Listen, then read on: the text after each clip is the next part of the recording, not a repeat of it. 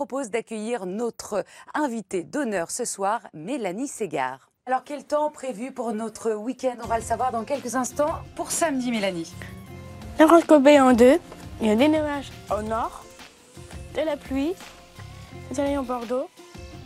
Alors pour la journée de samedi, le ciel est relativement nuageux pour dimanche. Il y a des nuages trois quarts du pays, de la pluie, le soleil à Marseille. Il ira très frais.